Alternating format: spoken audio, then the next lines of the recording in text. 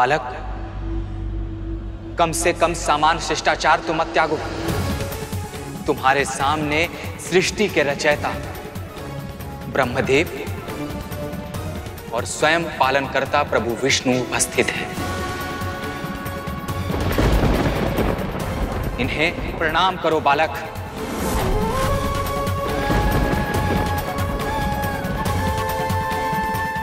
जो भी हो पर ये विपक्ष में खड़े हैं। इसलिए शत्रु है ये मेरे।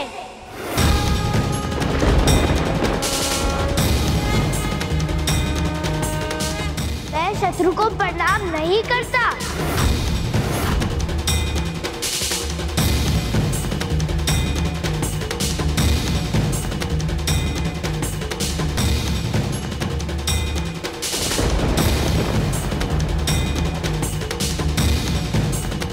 शीघ्र आइए स्वामी। एक शुभ समाचार आपकी प्रतीक्षा कर रहा है। मुझे पूरा विश्वास है कि उसे देखकर आपके मुख पर प्रसन्नता के सहस्त्रों सूरज जगमगा उठेंगे। हम तुम्हारे शत्रु नहीं हैं बालक। हम तुम्हारे शुभ चिंतक हैं। और इसलिए समझाने आए हैं कि महादेव सबसे बड़े सबसे विशाल सबसे महत्वपूर्ण और सबसे अधिक पूज्य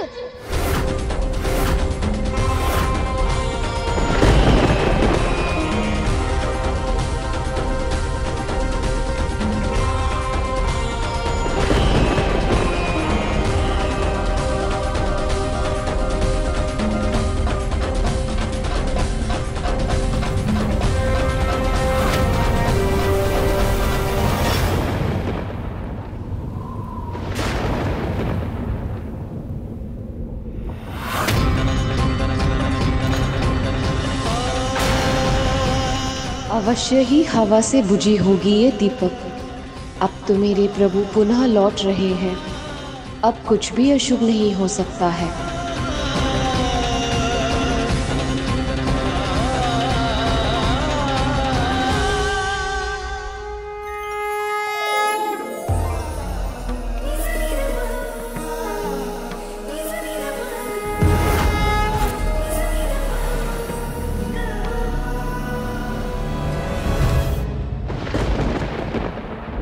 इसे सब पता है। फिर भी अभद्रता कर रहा है ये। अभी कुछ ही देर पहले आप लोग की कथा सुनी। वैसे ब्रह्मदेव, आपको मुझे उपदेश देने का या उदंड देने का अधिकारी क्या है? अपनी उदंडता भूल गए? अपना एक शीश उसी कारण गवाया था ना आपने?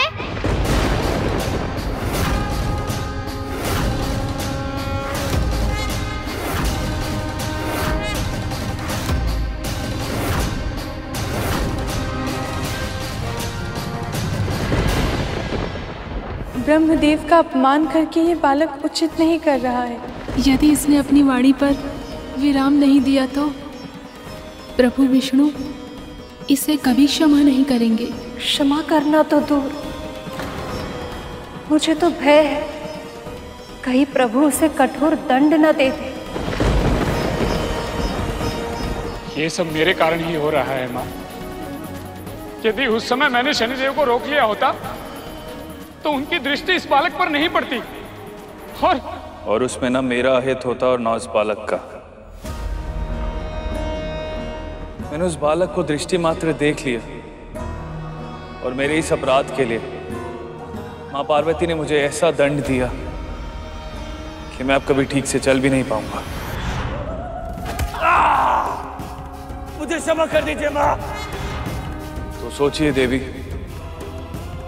यदि प्रभु विष्णु ने उस बालक के साथ कठोरता दिखाई या उसे कोई दंड दिया तो माँ पार्वती क्या करेंगी?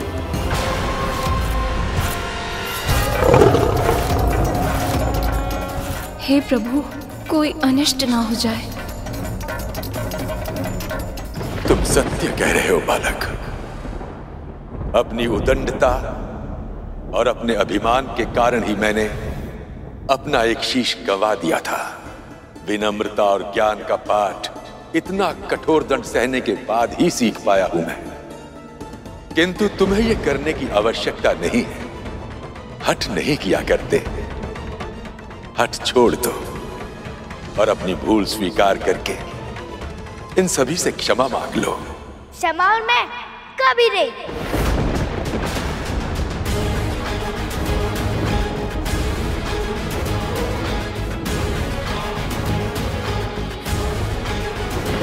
बालक तुम्हें ऐसा नहीं कहना चाहिए। मुझे क्या कहना चाहिए और मुझे क्या नहीं कहना चाहिए? वो सिखाने वाले आप कौन होते हैं।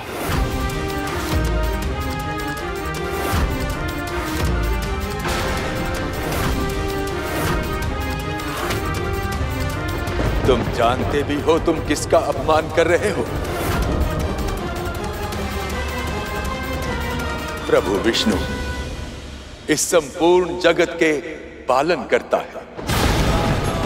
और तुम्हारा जन्म भी इन्हीं के आशीर्वाद स्वरूप हुआ है। तो ये मुझे क्यों नहीं पता? या फिर ये भी संभव है कि आप भीतर प्रवेश करने के लिए असत्य बोल रहे हैं?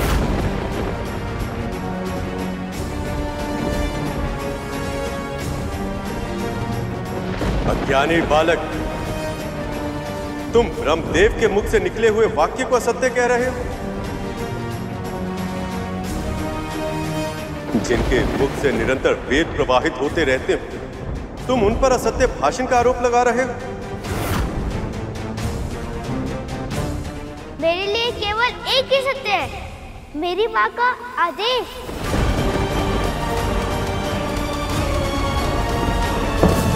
यदि आप सबने मेरे सत्य का सम्मान नहीं किया तो उसका उत्तर ये डंडा देगा।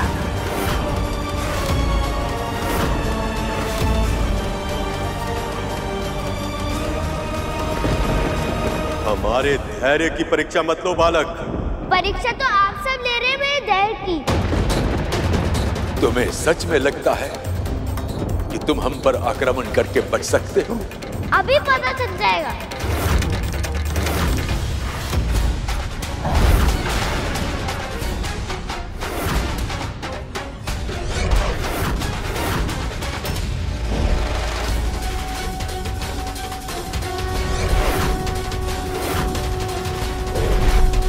माँ शक्ति के दंड के प्रहार से कैसे बचेंगे ब्रह्मदेव?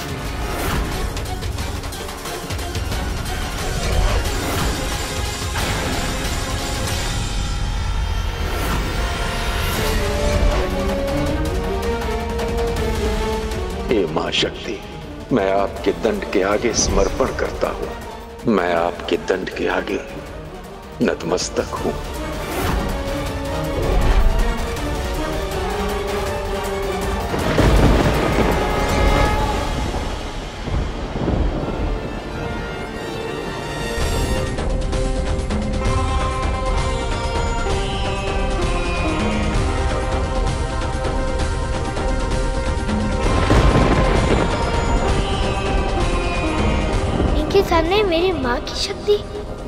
कैसे पड़ गई? ये प्रश्न तो मेरे भी मन में आ रहा है गुरुदेव। माँ की शक्ति ही ऐसी होती है कर यदि कोई विरोध करे तो वो पूरे वेग से आगे अपने विरोधी से टकराती। रुद्र रूप में उसका सामना करती और उसे पूरी तरह से नष्ट कर देती। किंतु यदि कोई समर्पण कर तो वह क्षमा भी कर देती। है जब मैं डिम में था और मुझ पर संकट आया था, तब मेरी माँ भी बहुत अधिक क्रोधित हुई थी। किंतु अब जब बड़ी माँ ने अपनी भूल मानी तो माँ ने उन्हें क्षण ही क्षमा कर दिया।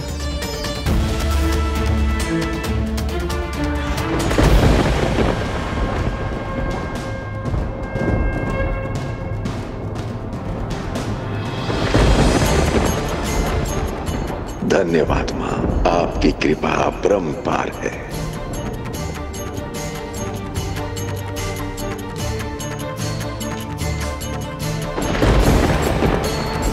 इसे क्या हुआ?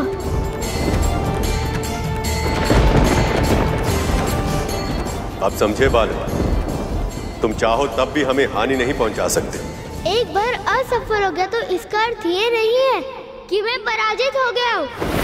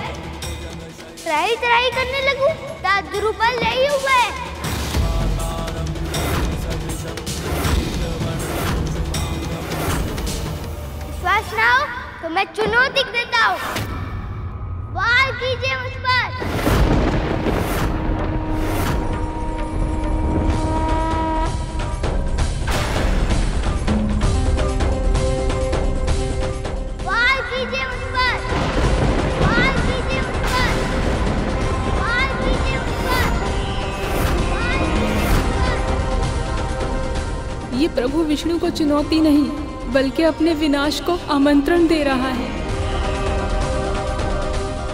ये सब सिर्फ़ आपके वक्र दृष्टि के कारण नहीं हो सकता स्वामी। अवश्य ही इसके पीछे कोई कारण निश्चित है। हाँ मुझे बहुत चिंता हो रही है। यदि प्रभु ने अपना संयम खो दिया तो? तो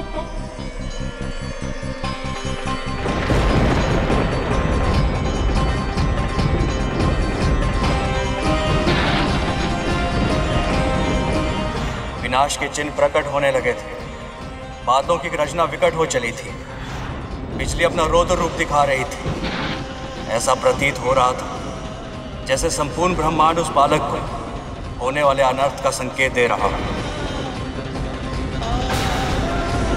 प्रभु विष्णु का क्रोध तो बढ़ता ही जा रहा है नंदी जी।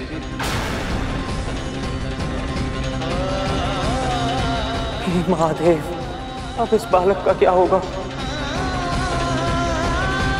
अभी भी समय है, बालक। हट, छोड़ दो और प्रकृति के संकेत को समझो।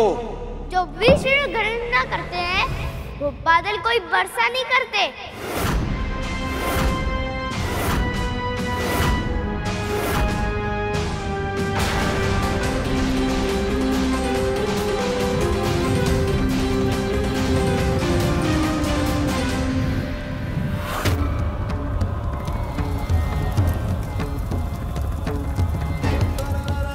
महादेव समाधि में थे पर अनिष्ट की आशंका से उनके ललाट पर सवेद की बूंद छलक आई थी। ऐसा लग रहा था कि शीघ्र ही वो उनके तीसरे नेत्र तक पहुँच जाएगी और फिर सब समाप्त हो जाएगा।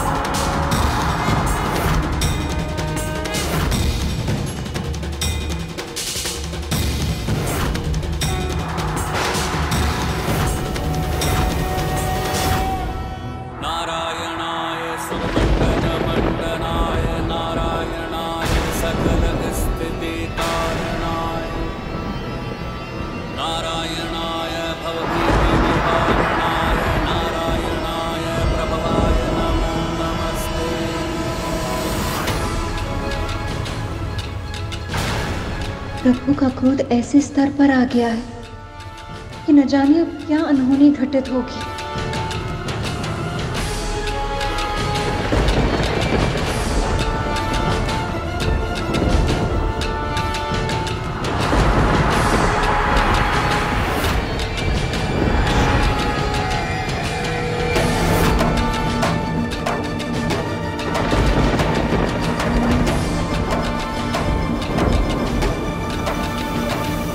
सुदर्शन चक्र? प्रभु, आप ऐसा नहीं कर सकते। एक छोटे से बालक पर आप प्राण घातक अस्त्र नहीं चला सकते। अन्यथा अनर्थ हो जाएगा, प्रभु। अनर्थ हो जाएगा।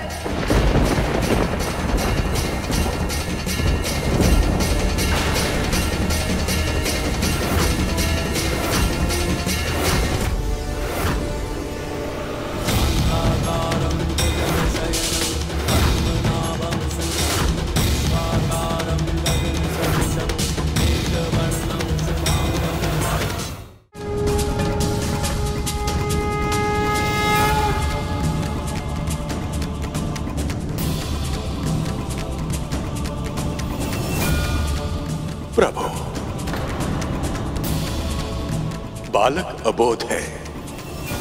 वो नहीं जानता कि उसने किसे चुनौती दी है। मेरी आपसे प्रार्थना है अपना चक्र वापस ले लीजिए। यह अबोध है प्रभु इसे क्षमा कर दीजिए। प्रभु ये आपके ही आशीर्वाद का फल है। इसे क्षमा कर दीजिए।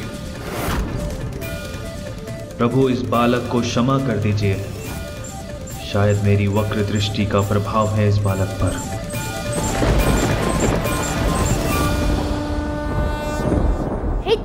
तो अपने मित्र का सुझाव मान लीजिए।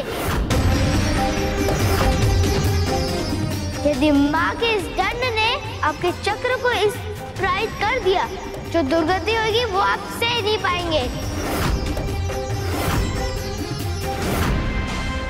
सारा संसार उपवास उड़ाएगा। जो स्वयं इस संसार को बरहाल कहते हैं, वो एक बालक से हार गए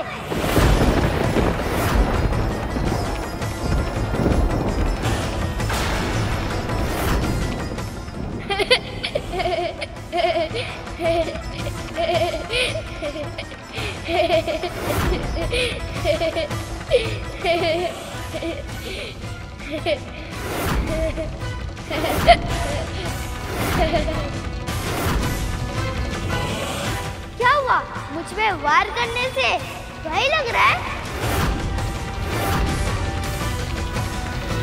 तो अब मैं आपका भय दूर कर दूँगा।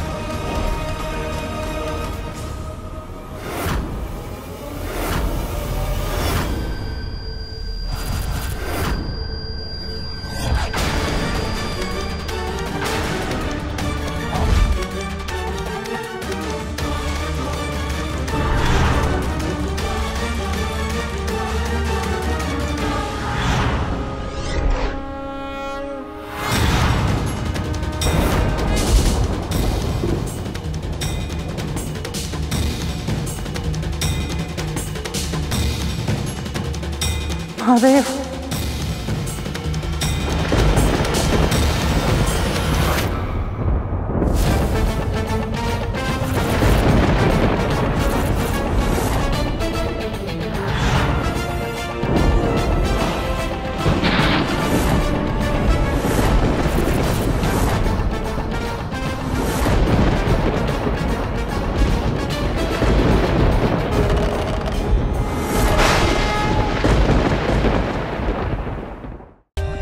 For more updates, subscribe to our channel, click the show links and enjoy watching the videos.